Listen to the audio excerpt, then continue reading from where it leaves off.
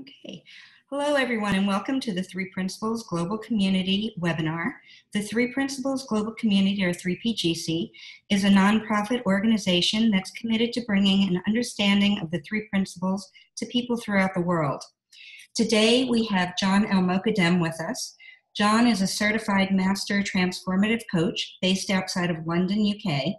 His specialty is in creating breakthroughs with his clients by helping them to see a deeper understanding of the three principles in areas they may be feeling challenged by.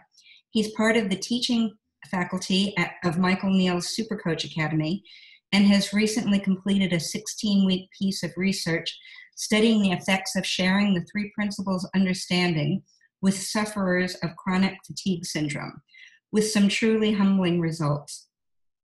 John is honored to be asked to speak with the Three Principles Global Community once again this year. And if you're interested, you can learn more about John and contact him through his website, breakthroughthat.com. And I will have that posted under the YouTube video.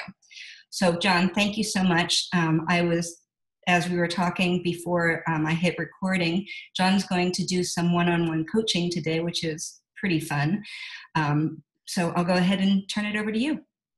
Wow. Okay. Great. Thanks, Bonnie.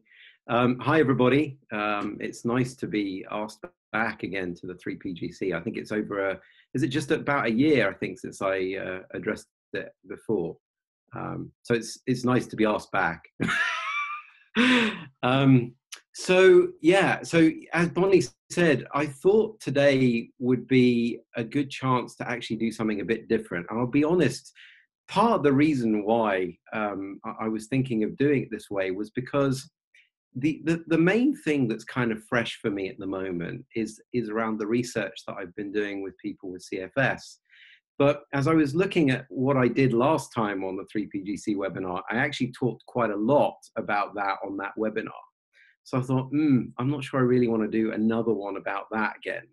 Um, and as I didn't have another idea that I thought, you know, hey, let's talk about this, I thought, well, let's let's put it out there and and and use this as a chance to, you know, let you guys bring something to the table and let's do something more fluid and organic and and see what comes from that.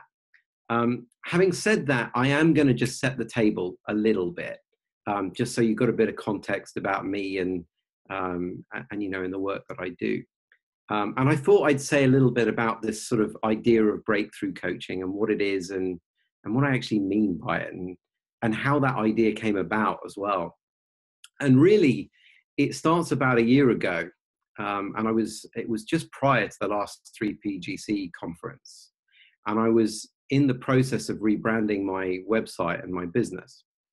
And I was sitting with my wife, who's also my assistant, and uh, we were we were sort of just brainstorming um, and and sort of looking at you know, we were asking that question that you know principles practitioners sometimes struggle to answer, which is what is it I actually do again?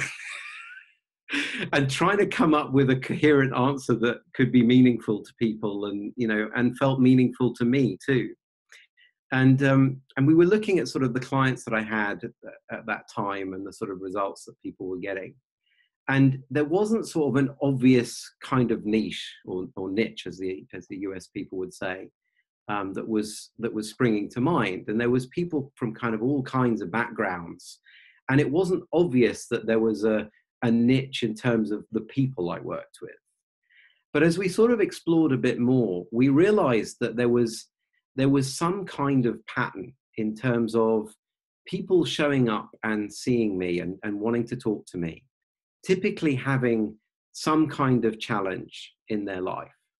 Um, and all I would do was was pretty much just share what I could see was true about you know their specific challenge in terms of what we could see from the pre the principles perspective. So we'd be looking at you know what's true about creativity? What's true about how problems get solved? What's true about well-being what's true about our emotions and and what do they actually mean and what what i was finding was that sometimes i was working with people and and pretty much after just one or two sessions of working with them in that way people were getting some quite profound shifts and seeing things from a very different perspective. Um, now, I'm, I'm not, I'm not going to say that it always solved their problem, um, but what it did do was it actually helped them find the thing that was underneath their problem that they were really seeking. Now, what do I mean by that? Well, what I mean by that is we've got this remarkable ability to dress up what we think we need to be okay right and we dress it up in all sorts of ways so we say oh well i'll be okay when i've got this job or when i've got my health in order or when i don't feel anxious anymore or you know when my bank account's at a certain level well actually that's all an illusion right? Being okay is innate. Being okay is built into us. And it's only a misunderstanding about what being okay looks like and um, um, and how our mind works that stops us from seeing it all. So all I would do was pretty much share with people what I could see about those things, and you'd find people sinking back into seeing this space of okayness and well-being um, so much more, and often after just one or two sessions. And then what I saw in my own life was that being in that space was not in opposition to doing better in life it was actually the space in which we are innately built to perform. You know, when we've got we've got a clear mind, this energy of mind is living through us, and we're more able to see new solutions and creativity and problem solving. But it's also in that space. So the people I work with with chronic fatigue, when they're not so busy trying to find okay and trying to manage their life so much, well, actually, they're not stimulating their fight or flight responses so much in their body. And it creates a space for healing to occur very organically and very naturally. Um, so, so that's just a little bit, I suppose, about what it is that I see about breakthrough. But I'd really, I don't really want to rattle on too much about it, to be honest with you. I'd much rather sort of work with you guys a little bit and try and help some people so that you get a feel of what it would look like for you. Um, so I'm hoping the tech's going to work and Bonnie can help me sort of make it work. And if and if you've got something that you'd like some help with or you want some coaching on, you know, raise your hand, put a thing in the chat or or do whatever Bonnie says we need to do, and then uh, let's get you on and, and, and see what we can do. Yeah, you can either raise your hand or if um, you can unmute yourself, please feel free to do that. You can unmute yourself by scrolling down into the lower left-hand corner of the screen.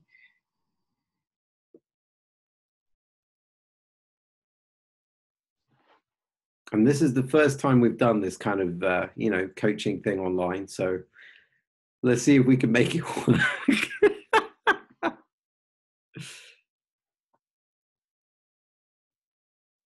what are some of the challenges that you guys have got? Is that somebody?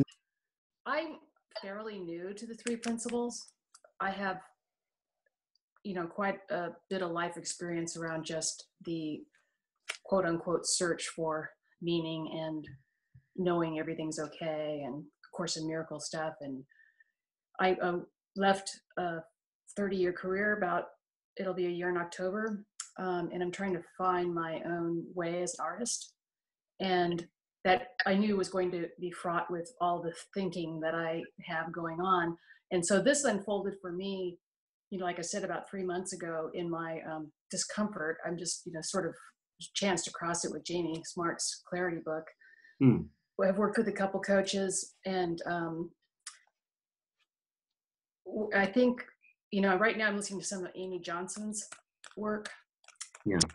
Um, so is it just a matter of trust with all this? If you, you know, I step into the studio and um, I can, I, I've had breakthroughs, I've had some insight. Um, when I walk up to a canvas, I, you know, there's, there's loads of thinking, right? There's loads of what does this mean? What am I going to be able to sell this? Blah, blah, all this stuff that's like just crap and thought storms and stuff.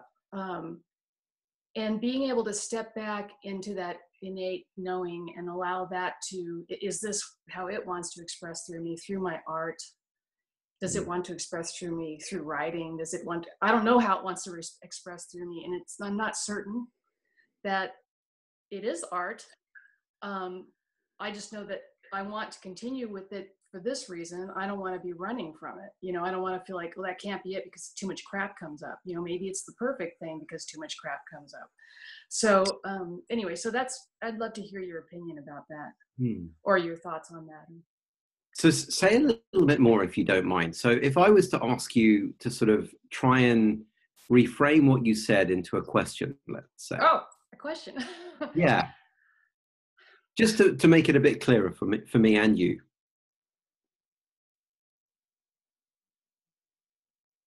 So Michael Neill asked that, you know, it, what did it, what do you want and what keeps you from that? And I was writing about that and you know, if I could imagine a perfect world, I could move out from my creative energy in whatever way that was wanting to express and just trust into that. I don't and so you know there's like this big empty field of who knows what it is right um, and who knows how you're going to move forward in that i left the work i was in to do this you know painting it got me out the door Hmm. um, but is it is it the what it is it part of what i'm here to be doing in this moment or is it just there as something because i don't know what else there is to do?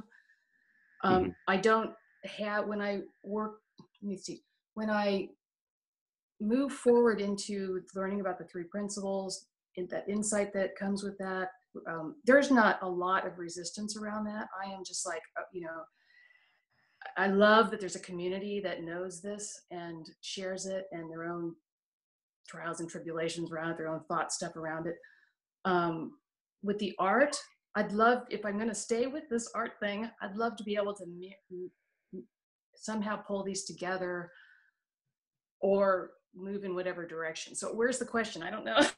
um, Well, I can say what I'm seeing a little bit and then see if that helps crystallize things for you. So, whenever I hear a kind of, it's almost like a how to or, or do I need to kind of question as I'm hearing it. And whenever I hear something like that, usually there's a sense in which if if someone if someone's asking a how to it's usually how do i do this so that i can make it happen and then i can be okay right now the bit to look at whenever there's a question like that i'm not saying that how to's are completely pointless but what i'm saying is that it's really useful to look at what's our role in terms of navigating our life and how much do we really need to do it. Because whenever there's trust involved or that question of trust it's like yeah how much can i trust this to really just make sure that i'm okay and that it's not all going to go pear-shaped and go you know the wrong direction? Well part of the the the whole conversation as i see it around the principles is around seeing something about our inbuilt resilience right and and who we are right? So the more i've been on this convers been in this conversation myself and been on this journey the more i've just seen that actually it isn't my job to navigate my life and nor do i need to because i'm actually always carrying around with me everything that i'm looking for. So my well-being is never lost it just sometimes looks lost. Um, my resilience is never lost it just sometimes looks lost when i get lost in thought and get lost in my mind. But that doesn't mean it is lost. It's kind of like if you've got the sky and then the clouds well when it's a cloudy day which actually it isn't today in the uk it's actually blue out there um, when when it's a cloudy day it doesn't mean that the sky isn't there. It just means it's a cloudy day. And at some point that clears and we go home and come back to that space of just knowing we're okay. Now the more i've seen that that is true the more it's not occurring to me quite so much to want to figure out how or even needing to trust um, life because i know that whatever happens to me that is in me. I don't lose that. I don't it's never gone.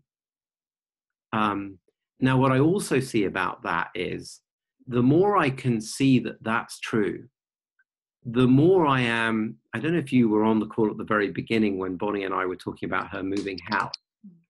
And yeah, and she said, she said, Oh, I went to Florida and, and I kind of just knew, right, this was where I was going to go. Well, what I see is that the more we can see that actually, no matter what happens to us, we're never far away from that well being and that, you know, knowing that we're okay. Well, the more we connect to this part of ourselves that just knows what to do moment to moment to moment. And that knowingness, as I see it, is what's connected to this deeper intelligence that we call mind in the principles community. It is the thing that is behind everything. It is the, the deeper intelligence behind life. And it's that intelligence that is moving us through life and bringing us insight and new thinking and knowingness. And that's the thing that actually, you know, helps move us through life at our best, as I see it. Now, if I compare and contrast that with, you know, how I used to try and navigate my life when I didn't know any of all, you know, any of all of this stuff, you know, it would typically be me going round and round in my head, getting really, really scared about life, thinking, what on earth am I going to do? Let me figure something out and let me try and make it happen. Right now, sometimes I'd create from that place, but honestly, I was not very good at creating from that place at all. That's why this was a real, um, this was a real eye opener for me because it made me see that actually my job isn't to create. There is something in life that does that and the more i see that actually i i'm never far from just knowing that i'm okay and seeing my well-being wow i just get better at navigating my life and kind of get surprised at the results that get created because they don't feel like they're my responsibility they don't feel like i even did them half the time and as an artist i'm guessing you might have some of that experience where you know you're not really thinking about it and then suddenly something gets created you go, oh, where did that come from? I don't know. I'm just guessing. Maybe that's the case. I'm not sure. Um, I've, I've had a little bit of that experience, very minute amount of that, which you know gives me some sense of okay, well maybe this isn't just something I'm doing while I'm waiting for this innate wisdom to tell me what else to do. mm-hmm. Yeah, I mean, did anything come up as I as I said what I said? Did did that help you get more clarity around um, maybe what the question might be, if nothing else? It it brought up um, this quote unquote practicality of my mind, wanting to say, well, yes, that is totally true. I get it in the moment. I am perfectly okay and don't need to know what comes next. Hmm. Um, and then my mind wants to start rolling into okay well okay so where, what do i do now right now i'm on a phone call i'm on a skype or zoom call in a mm-hmm. webinar this is it we'll see what happens when this ends because i don't know you know will it be i will you know i just so that it's there's such a yeah a sense of just this vast landscape of who knows in front of me um, without a whole lot of distraction. The only distraction I have going on is in my own head. I don't have any of the typical distractions people have. Mm-hmm. Um, so this is why this teaching is so perfect for me right now, and and for anyone right now, right? So um, mm. because I don't, you know, I know it's in my head. I know there's nothing out here causing any of my quote unquote problems. Mm-hmm. Um, so I'm, I'm very open to learning and i realize i have a lot of resistant thinking so i and i see the thinking and i'm starting to get behind it and be able to look at it and just not give it a whole lot of energy uh, but that there's a piece of, that wants the thought that wants to know well what does that mean? Am i going to paint or not? Or you know what do you do with the rest of your day? You know that kind of stuff. And i know you guys have all been there right? So whatever wisdom you want to share on that piece would be awesome and or not whatever. I don't know. Yeah i mean look i i have thoughts like that that come in into and come into my mind. It's like well what are you going to do now? And you know and and i'm not going to say sometimes i don't get caught up in those sometimes i do i just kind of know a lot more these days that you know, there's nothing in those thoughts whatsoever that's of value to me in terms of taking me to what ultimately I see that we're all looking for. Right. And for me, ultimately, what we're all looking for is to just know we're okay. And that's that okayness is the quiet before the noise. So the idea that I'm going to find the quiet by getting lost in the noise doesn't make so much sense to me anymore. Right. And and that's something that, you know, has happened. I mean, me seeing that is something that's happened from understanding more about the nature of thought and seeing the only role that thought has in my life is to give me an experience, moment to moment, of what it is to be human. Um, and all of that is a valid experience. And none of it is data or information that I need to take seriously about what I've got to do with my life. Um, what I'm going to do with my life is, and some I know there's some of the people on the call who know me have probably heard me say this analogy, but for me, my knowingness is as simple as me going to the toilet.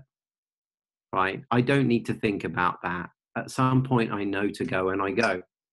You know, it's the same as I don't know if you have this in your household, but one of the frustrating conversations that occurs in ours is, "What are you having for dinner?" right? Every morning, my wife says to me, What do you want for dinner? And I go, I don't know. I've not even had breakfast yet. What do you want for dinner? And then she doesn't know either. And we bat to and from us and we try and figure out what we're having for dinner. And of course, we never figure it out. But I can tell you, we've eaten dinner pretty much every day of my life, as far as I can tell. Right. So I'm seeing that, you know, I, I, I don't need to figure it out because there's something there that's figuring it out. In the same way, there's something that figured out where Bonnie was going to move to. Well, there's something that figures out what I have for my dinner. And thank God it's not my job because I'm bloody awful at it. um, same with you. I can't guarantee that you're going to paint, right? But what I do know is that you are fundamentally okay, right? And and and one of the the the the things that I've seen about my own journey with this is whereas before I really really anything I didn't know the answer to I really would want to try and figure it out. Nowadays I'm much more comfortable if the answer if I ask myself a question and I don't know the answer I'm much more comfortable with that being a really valid answer. I don't know. Because that I don't know is not actually a weakness. That's the space of pure potential. That's the space where fresh thinking comes from.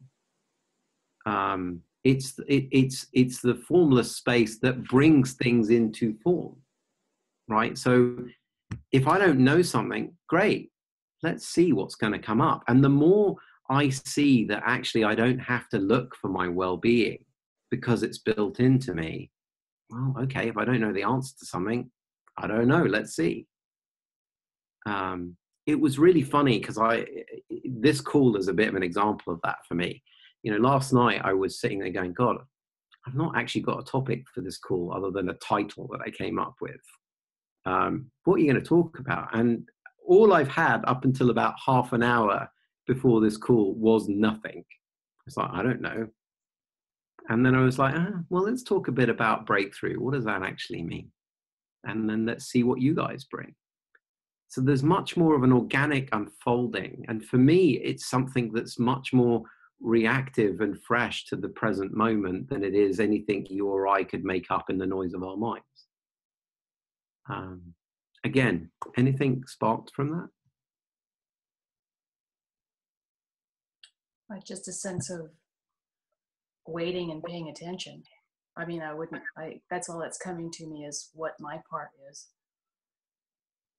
Mm. You know, oh, I gotta pee. Okay, there, that was a, and you know, that came and, uh, and I'll go do that and, and whatever is supposed to happen next. Yeah. no. So, you know, okay. It's very simple and, um, you know, letting go of needing to have anything happen is part of it. Yeah. Because nothing needs to happen for us to be okay. No. But that's that's actually a quite sometimes it's extremely simple, but it isn't what we're conditioned to think, and it's not what we're taught. You know, having just come back from the States, uh, you know, at the beginning of this week, I found it really difficult to turn the TV on because the TV is constantly saying, you need this, you need that, straighten your nose, fix your teeth, get a new car. You know, it's constantly feeding the illusion that there's a place you get to where you'll be okay. Well, that's that's not true. We are innately built to be okay. We need nothing. Um, and the more we can see that that's actually true, okay, let's sit in that space of the unknown. And actually, it is a far more creative place because that is the place where we are at one with the thing that's actually running life, where this energy of mind can live through us and us be at our potential. Uh, that makes sense. Appreciate your bringing some clarity to my moment here. oh, not at all. That's what this call's about. Thanks for raising your hand. Thank you. Not at all. so, Bonnie, have we got any other hands up here, or? We, um, I got a question in the chat box from someone who doesn't want to talk, but it says, "Hi there. I'm fairly new to the principles, but I can see that it really is the way forward, and wondered what you suggest when anxiety strikes when I'm at work, always first thing every morning." and have trouble just letting the thoughts go as I'm trying to look calm in front of colleagues. Mm. So, okay. I'll, I'll share an example with you, um, and, I, and I hope it's going to resonate. If not, and you don't want to talk, then type and let me know what comes up for you, and I'll try and react to it. Um, so, I'll give you an example. I um, I used to get extremely nervous when I had to deliver trainings. Um, very anxious panicky, run to the bathroom kind of panic.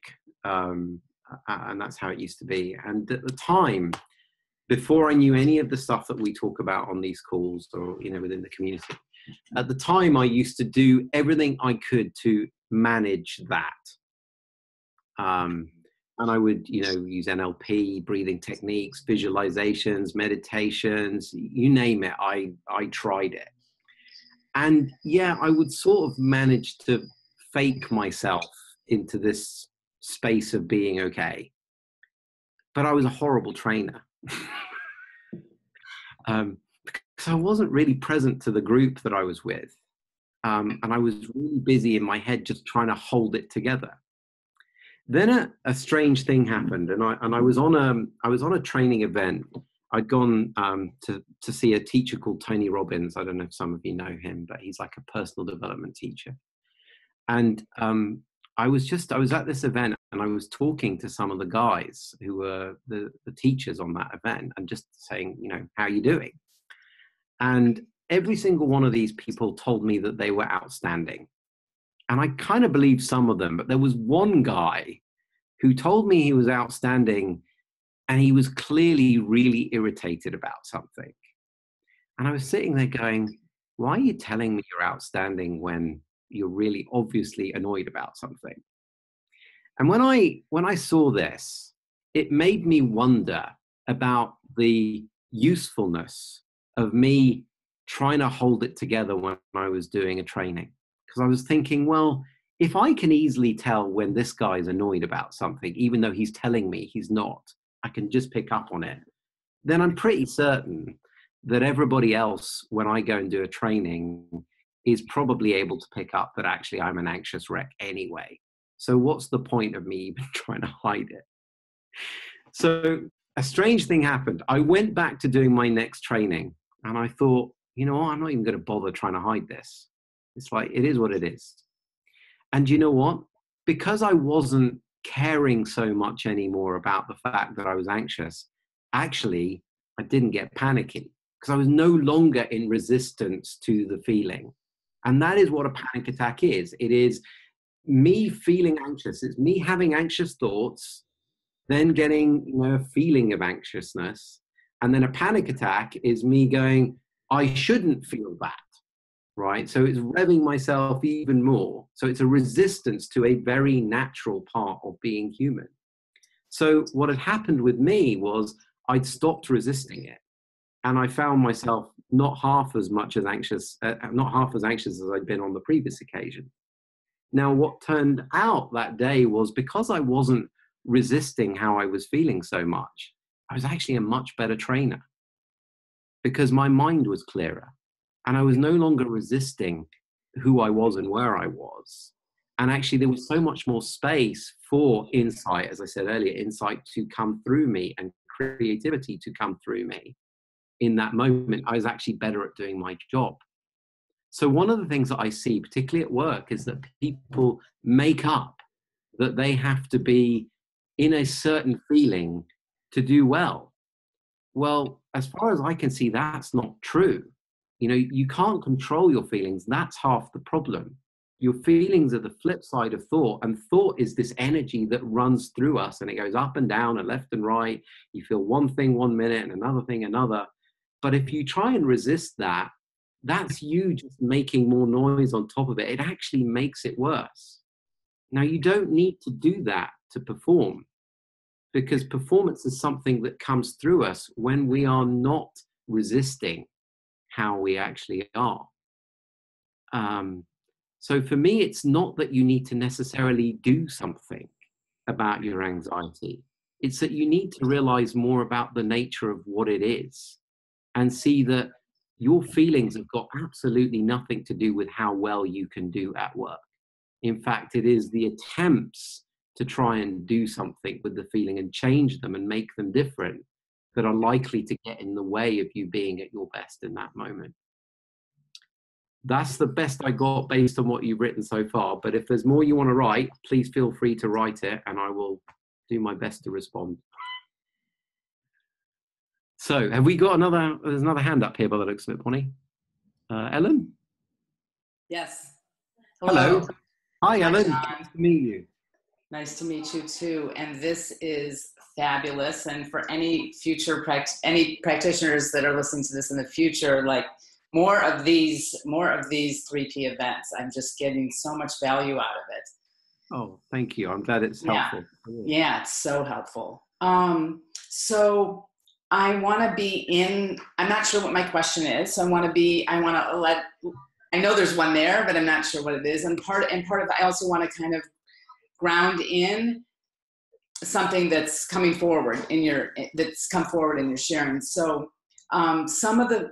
Uh, so I'm a 3P practitioner as well, and some of the people that I work with have uh, chronic illness or healing on a path of healing cancer, and I um, sometimes I don't feel secure in my um, hmm yeah. So what I'm what I'm what I'm experiencing now. Sometimes I don't feel secure in in my in my use of the three principles in that population because I have an old thinking or I have, I have a I have a strong foundation but like that they're um, that they need to be oh, this is just witnessing what my my head is doing is just wild in this moment um, That's good. That it should be something you know that it that there, it should be something different than it is like that that the I was I was about to say that that their like their concerns or about their like that I'm not I'm not maybe it's that I'm not really um, present to their illness. That's what it is. I'm, I'm I'm wondering like am I not really present to their illness if I'm directing them to their to their innate well-being and and the trillions of healthy cells that are are also present in their body. hmm Oh, have we just lost her? Yeah. I think we just got cut off, didn't we? Um, okay. Shall I, I? I've got an. Oh, I've lost you as well, Bonnie. Are you muted? Hold on, Ellen just came back. oh, is she back? Okay, great. Yeah, yeah. Love the timing of that. That's all right. You're back. You're back. Okay, I'm great. back. Um, was there more you wanted to add before you got cut? No, off, let's or- just. I, I, I think. I think. I think mine had a very good cutoff point for me Okay. there. All right, great. So here's what occurs to me. Um, you, you said that the patients you work with are cancer, uh, but, you know, Some, Suffering. some, some of the clients that I've with. Yeah. Right? So I I don't have experience working with people with cancer, so I'm just going to flag that. Um, so I'm going to talk generally about what I've seen with you know chronic fatigue and and the people that I have worked with with with health issues. Now, it seems to me that a major part of healing is the calming of the fight or flight response. I teach. Yeah. I mean, th- I teach that to everyone and work with. Yep.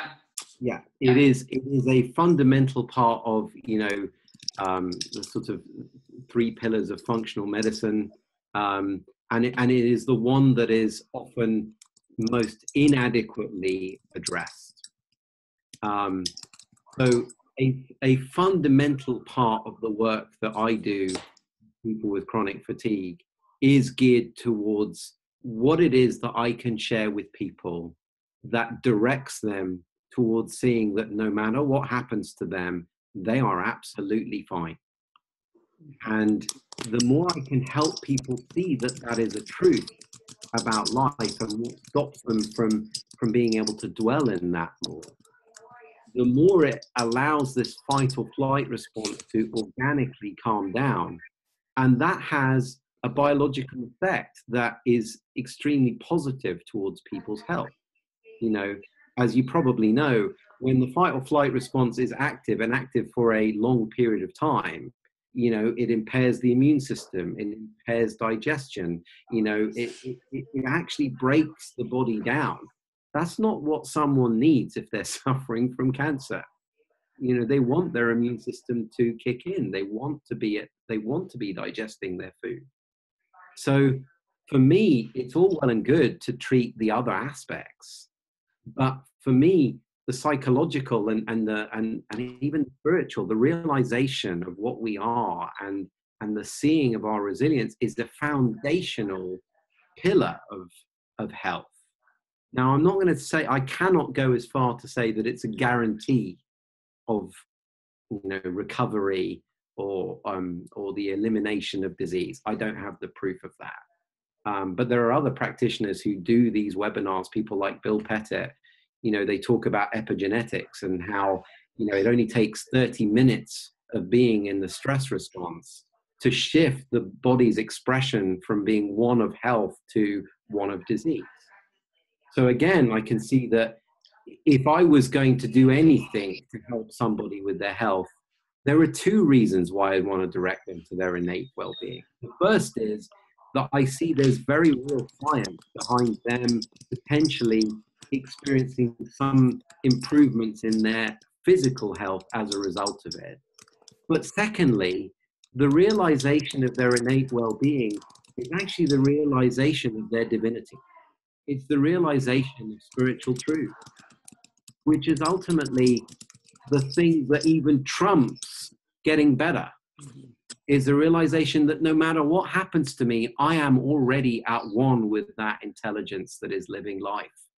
So there's nowhere for me to get to. So even if this body falls apart, which let's face it, is the it's the trajectory that we're all on anyway, even if that's going to happen, there's a, a freedom that comes from being able to see more of our spiritual nature and who we are.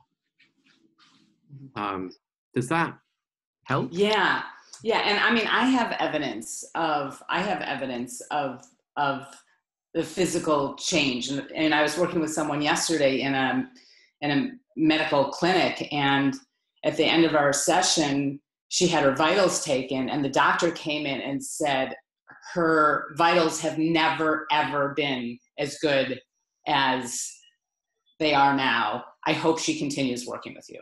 Yeah. I mean, I, So I, I, had, yeah. I had people on my study who who came on for chronic fatigue, and they had other, you know, diagnoses. I mean, um, there was Yeah. primary autoimmune, and they told me several weeks after um, you know they'd finished on the study that for the first time their autoimmune markers had improved. Um, and in one of the areas where they couldn't receive an infusion to improve it, it had just improved organically. Yeah. Um, so, you know, I think for, for me, the more I have seen in my own life that this is a pillar of health, it is a foundational part of that, you know, the, the more it occurs to me to just go, well, absolutely, that's the direction I take. I mean, it's the direction I take any client anyway, but having had such an experience of, of improvement of health as a result of seeing this myself, there's just no other direction I'd want to go. Yeah. Uh, personally.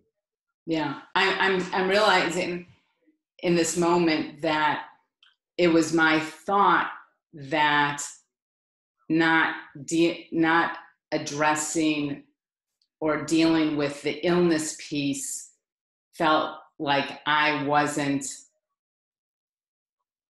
being present to them or wasn't deeply listening to them. And i just see i just see that it's just my own made up thought about that that i'm really what i'm really doing is pointing them to the the truth of who they are their they, their divine nature by focusing on the other. So i want to say that and i also want to say i love the you know i'm just i love that you mentioned bill pettit um, because I spent a lot of time listening to his videos, and he's going to be in my living room with 30 people tonight. Oh wow! And cool.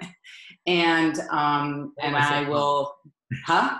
Tell him I said hi. I will, of course. I'm going to tell him I started my day with John and get to end my day with Bill and Linda, and um, and um, and I'm and I I also will like have another opportunity to many opportunities to to look at the epigenetics of this and with him. So thank you for bringing that forward. Not at all. Bill's a really good person if you want to explore that that particular aspect of it, and if it's something you know. I I, I already know. Yeah, and if you want yeah, to explore I, that separately with me, I'm happy. If you want to just drop me a line, I can send you some oh, stuff. Yeah, thank you. Yeah, and thank you, thank you everyone else for listening, and I hope there was some value for others. Yeah, thanks for putting a hand up. Not a problem for me. I'm I, a regular at that. Thank I you. Privately messaged you with follow-up questions um, for the from the anxiety at work question, and then I have another one um, that I'll send you so that you can. Okay. It, so. Okay. So yeah. bear with me, everyone. I'm just going to have a quick look at this one. Uh, shall I? Can I read this out loud? I guess so. If I don't say who it is, right? I don't know who it is anyway. So, mm-hmm. um, because the two ladies in my office do know how I feel, so I'm not totally hiding it, but the anxiety takes over and I start to feel unreal, etc. What can I do at the peak of my panic to let it wash over me, please? Even before I get to work, I have terrible anxiety on the way there. I think it's a feeling of being trapped as I get it at meetings, even if I don't have to actively participate. I don't even like having to talk to someone in the town as I feel trapped talking to them. Yeah, I mean, I'll be honest with you, it's a little hard to sort of coach based on, you know, these kind of and the interaction in this way, but I'll I'll just do the best that I can. I think the thing for me is that it, it's the realization that there's two things here. Anxiety is really normal. It's something that we all get. I had it a little bit even before I got on this call right? I just don't care that I get it. It just doesn't bother me. Now, you might say, well, what is it that lets you not care about it? Well, it's a couple of things. It's it's seeing that anxiety is not telling me about my life, right? It's just telling me where my mind has gone in that moment. That's all. And and the nature of that is that it changes it's transient it ebbs and flows it goes up and down it's not a permanent thing. Um, and secondly it, it's seeing that i don't need to do anything with that anxiety in order to be at my best. Now you might say well okay well uh, but it really looks like it does because i've got to keep my job or something like that i don't know. Maybe that might be how you'd reply to it i'm guessing well, the thing is, it, there's something there to realize. So, for example, I had someone who I was working with the other day who was who was telling me about how anxious and panicky they get, um, and how they they they keep going, "What if?" and you know, trying to work out what might happen. And I was like, "Well, why are you doing that?" And they said, "Well, if I can work out what might happen, then I can hold it together." And then I can make sure that they don't judge me and etc. etc. And I'm like, well, the truth of it is that people are always going to judge you. Well, you know, it's just one of those things. You can't control for that. But the judgment says nothing about you. It tells you about where their mind is at that moment, but it t- says nothing about you. And again, with this situation here, you know, the truth of it is sometimes, even though we do our absolute best, it doesn't always work out the way that we want. Maybe you, you, you know, sometimes you can't always do your best at your work. But to realize that even if life doesn't go the way that you think it should, right, that resilience that you're looking for is not lost because it isn't coming from whether you do well at work or not, or whether you've got this job or that job. It's always there. You might have a moment where you don't experience it if if life was to go in a way that you you know didn't want it to but to know that that, that too is transient that's just the mind catching up with what's happening in your life. Well, that's okay as well. Now, there's something about seeing, I'm guessing from what you've written here, that there's some fear that if you don't hold it together, something bad's going to happen. Well, it's that bit that you're making up about it being bad that needs to be looked at in the sense of seeing something fresh about, you know, if that bad thing happened, could you be okay with that too? and what would enable that to happen? Because if you can see something about that you're not going to care so much about performing so well. You're not going to care so much about whether you're anxious or not. And the irony is you probably will do better as a result of that. Now again that's a stab in the in the dark based upon what you've written. I don't know if it makes any sense whatsoever but uh, again feel free to write if there's more to say. Um, bonnie did you say there was another uh, another is it here for you if I send it to you in a message so you can read it, or would you prefer read Yeah, sure. Yeah, yeah, no problem. You should have it now. That was quick. Gosh. um, okay, I'll read this. About a year ago, I developed this tendency to burp constantly, like really belching constantly all the time. I had every single med- medical test in existence, but was given the all clear in stomach, throat, colon areas, etc. And doctors told me it's probably just linked to my anxiety and it will go when my anxiety goes. Since learning about the principles, I've found that my anxiety really is reducing, but I am still burping. I'm not really sure how much they're linked, but when I'm thinking about it, I definitely belch more. And when I forget about it, I'm not burping. So I think it's probably linked to my thinking. Since you mentioned your expertise in health anxiety, I'd ask if you had any advice about how to stop it.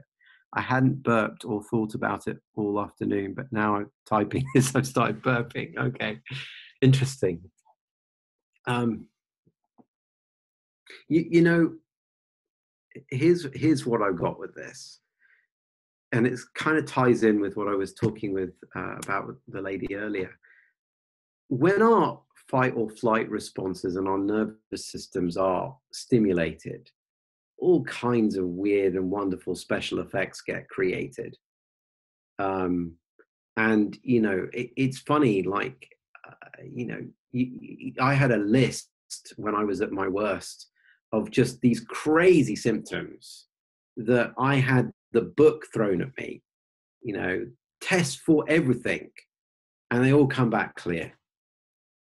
Um, and you know, those things have all kind of fallen away and they've fallen away the more I've seen that actually it is the resistance to those things that causes me the problem, right? Because when you think about it, if you if you have a symptom and then you you really really really want it to go, well, that's a form of fight. It's a form of resistance. It's me actually stimulating the thing that is probably perpetuating it right so i suppose the direction i point you to is I wonder what it would be like, or I wonder w- what what you could do to look in the direction of seeing that maybe it's just okay that you do that, right? Right now. I wonder what you could see around that. And the more you could see around the potential for being okay with that as a symptom, the less likely you are to resist when it comes up and the more likely you are to allow and create a space for that fight or flight response in your body to settle down. And if indeed it is related to that, well, it'll probably go away. If not, well, your your clarity will help bring you that knowingness we've been talking about will help you know what the next step is to do with that. Um, but but if if you notice there's a lot of anxiety about it and you really really want it to go, that's the direction I point you in to begin with, especially in the absence of any medical sort of results that show there's a condition there. You know, what if this is just another one of those weird and wonderful special effects that gets created when our nervous systems are just overstimulated?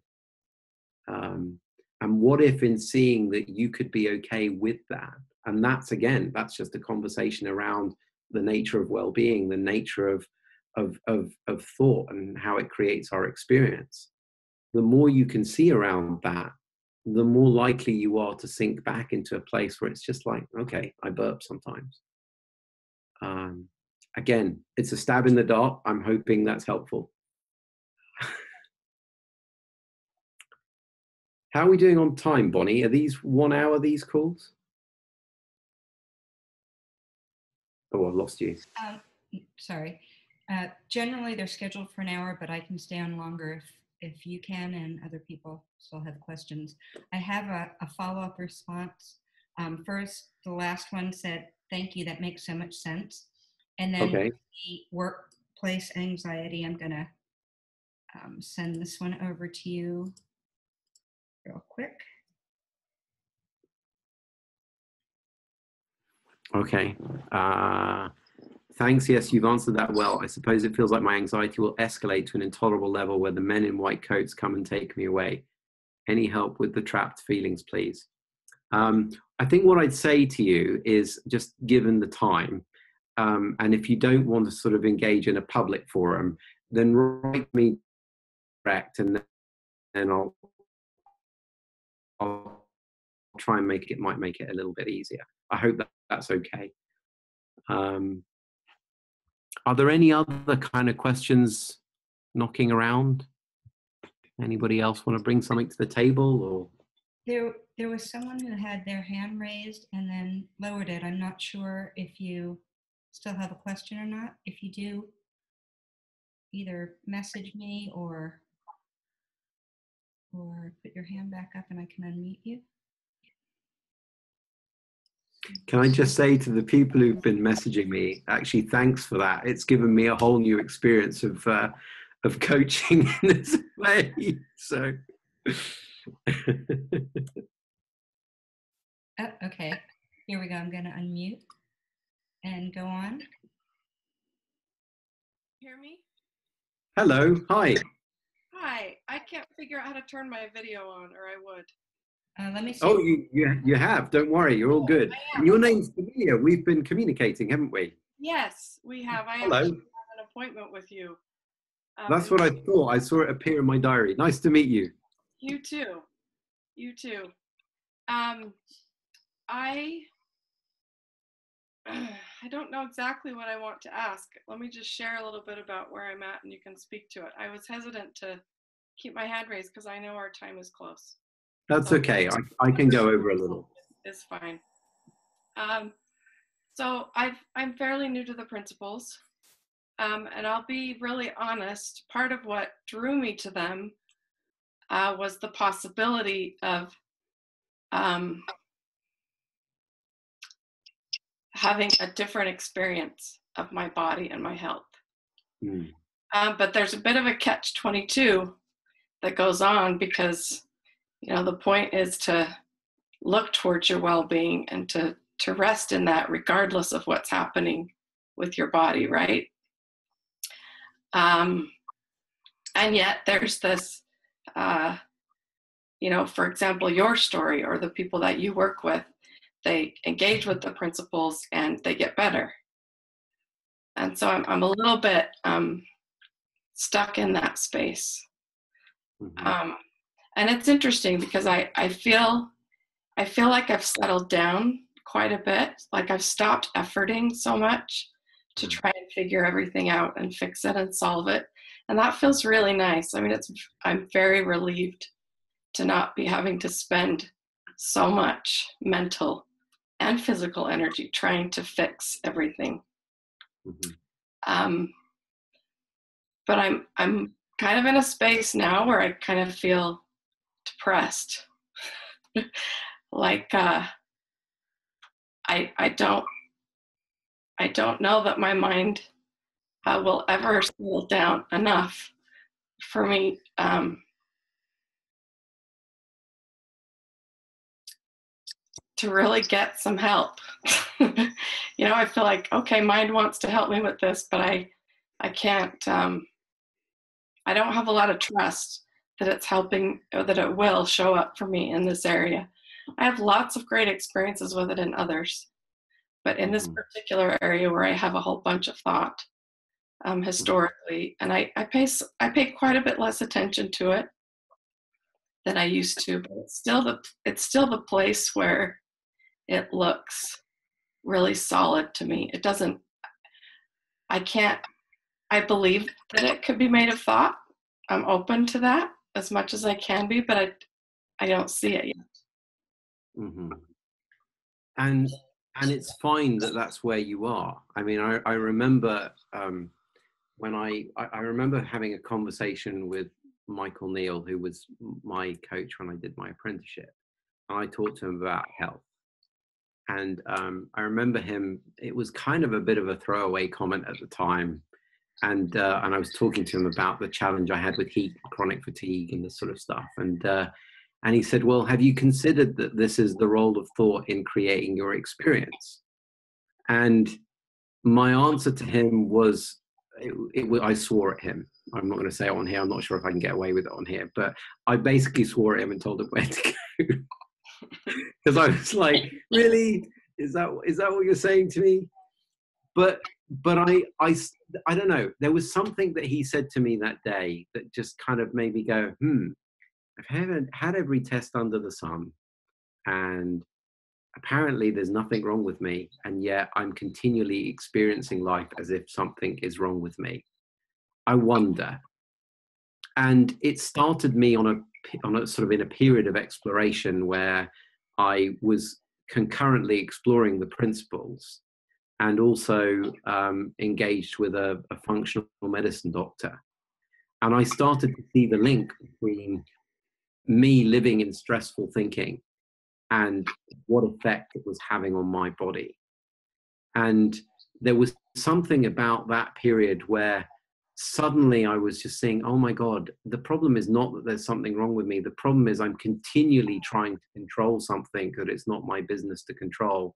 And it is that that very process of me resisting this intelligence that lives life. It is that that is literally breaking me down into the ground. Now, that was my process of seeing it. I'm not saying it's yours. All I can say is, is that if you keep looking towards this, you know, and you already are, so it's not like something extra I'm going to give you to do. You're already looking towards this. You're already looking in the direction of insight and seeing something fresh about it. Now, the annoying thing about insight is it's not particularly on demand. It's never really in our time scales, um, and it comes when it comes. Um, and so the best you got right now is to is to not put any extra pressure on yourself to get an insight or get there, because that's actually going to take you away right now from just being okay with yourself as you are right now. It's going to make a whole new level of suffering for you because you're going to be going, oh, I'm in pain and I shouldn't be in pain and I should be having an insight and I should be getting better and I'm not. Well, that's a really good recipe for torturing yourself. right? Um, I, I don't know if that is anything resonate in what I said there. Yeah, very much. I totally get it. I can see that. I can see that in experience. Yeah. Um, and I, I do get caught up in that, you know, like I should have figured this out by now. I should be able to see that it's made of thought. I should be able to, I should, should, should. And but that's, it's not a helpful direction. It hurts. It hurts and it creates more suffering. And I think that's why, you know, it seems to me there's often two levels that this conversation around the principles occurs at and I'm aware that's slightly artificial, so hold it lightly. But the sort of level one is, you know, thought creates feeling, right? And people just kind of talk about the thought feeling connection as if it's almost a subtle prescription that, you know, oh, okay, so my thoughts create my feelings. So I just need to realize that my thoughts create my feelings and then my feelings get better. Well, I don't think that's what it was all about for me, it's like I've got lots of examples of where I have woken up to that link and dropped out of thought. And I have lots of examples where that is not the way it happens at all. And even though I've got a lot of thinking, I still am really in it. So for me, it's about looking deeper to what for me is the essence of this conversation, which is unashamedly spiritual it's around looking to see you know, what is the game that's really being played. Well, as I see it, the game that's being played is, as one of my teachers called it, it's one playing the game of two. It is, you know, this formless intelligence that is coming into form and playing with itself in infinite possibility and infinite potential. This is the way it's choosing to do it through you right now. This is the way it's choosing to do it through me and it ebbs and flows. But it's the realization that we aren't something separate from that, right? That's what we actually are. That's what everything is. And, and the thing that makes us want to continually better our human experience, as I see it, is that we lose sight of that spiritual truth. We lose sight of our nature. And that makes us want to try and perfect our humanness as as as kind of the you know the second best prize, if you like. Um, it's like, oh well, you know, okay, at least I'll make my life look shiny and pretty. Well, the problem with that is you're not really flying the plane. So there's a need to go deeper and see that that part of ourselves that is absolutely untouchable because it puts into perspective the pain that we will inevitably experience as part of what it is to ride around in the human experience. Um, is that helpful? Yeah, interestingly enough, um, I'm a cancer survivor. Okay, um, right. And uh, I, it was most easy for me to connect with that, what you're pointing to, mm. when I was in in the thick of it. Yeah. I mean, it just you know, I just kind of cracked and it all came to the surface and and that gift was there. It was easy for me to see what you're talking about. Yeah. And, and to feel it. And it's kind of now down the road when I'm dealing with with this part of that of that experience that it's it's getting more tricky for me. Mm. So it's the direction to keep looking towards. Yeah. Um, I can see that. Thank yeah. you. No, you're welcome. I look forward to chatting with you yeah. uh, when we do. Me too. Take care. See you soon. You too. So um, I guess we're. I don't see another any other hands up there, Bonnie. Are we? Uh, are we in a good place? I don't see anyone else either. So um, yeah, we can wrap it up now. John, not only was this helpful and insightful, but really fun. Um, this interactive um, session going on. It's much more interactive than any of the webinars that I've facilitated before. So thank you so much. Oh, not at all. It was a little bit kind of seat of the pants, but um, sometimes it's more fun that way. So exactly. thanks for you know, being willing to play with it. yeah. And um, just to remind everybody, the next webinar is on September 14th and it will be with George and Linda Pransky at the same time. So that should be a really good one as well. So yeah, definitely one worth listening to. Definitely. So thanks so much. And uh, let's see, I'll unmute. You can all say goodbye. Bye. Bye. Thank Thank you. you. Thank so you very much. much, everybody. Thank you. Thanks for being Thank here. you.